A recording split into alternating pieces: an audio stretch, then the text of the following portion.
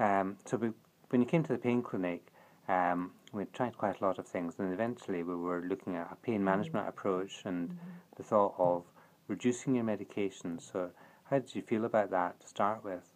To start with, I was terrified to come off anything or to even reduce anything because I, I thought I needed it to function. But I did, and I came off it just slowly weaning myself off, taking a tablet out of each dose, and then coming off everything. And and it's quite scary actually the fact that I was taking so much medicine and coping the same without the medicine, having nothing now.